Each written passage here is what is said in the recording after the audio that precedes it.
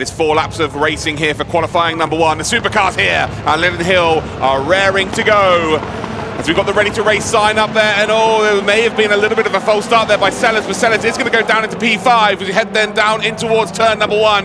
Get a lovely shot here as three cars enter into the Joker, and I think you'll find that O'Donovan here and Steve Hill have stayed out. Yes, they have, so they are on the normal lap here. So Steve Hill will be in second position, but Ollie O'Donovan has got an absolute flyer off of the line yesterday. He's had his lead cut in his championship from 12 down to three after yesterday's racing, and now it's all on whether he can indeed gain that time back. But as we head then through the top of Hairy Hill, we come down then to Paddock Bend. Ollie O'Donovan is in a very good position right now, and it'd be interesting to see whether he might just come into the Joker just to try and cover off Tohill. I think Tohill is in third position through the final chicane. They do indeed come Steve Hill. A little bit messy there, and it is indeed O'Donovan who comes in to the Joker. Only a four-lap race here. And will Tohill lead, or will it be O'Donovan? O'Donovan then coming through the chicane, and Tohill's got him here. He does indeed.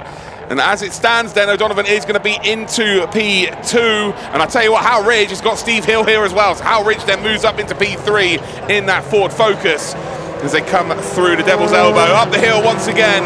A little bit of a run wide there actually by Hal Ridge and the same in the background then from Sellers. Lock up then from Hal Ridge as well. Door open up the top of the hill. Steve Hill trying to find a move but not quite close enough.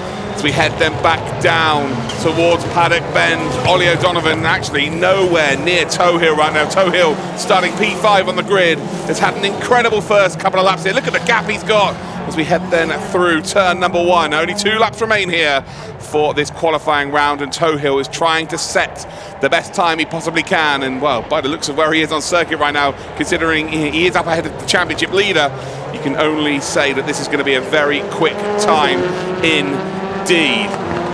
As we come through then the Devil's Elbow once again, all five cars pretty close proximity there. You can see how Rich sliding the car around. So moving the car one way to try and gain momentum the opposite way.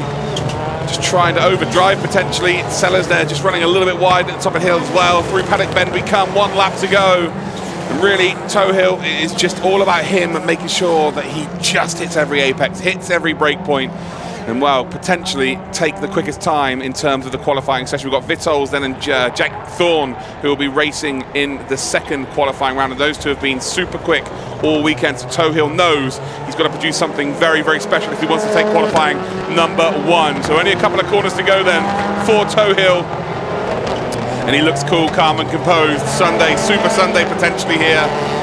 He is again second in the championship by three points, but he started the day off wonderfully well here with a couple of corners to go. And with his championship rival behind him in this race here, Tohill is going to take race number one victory.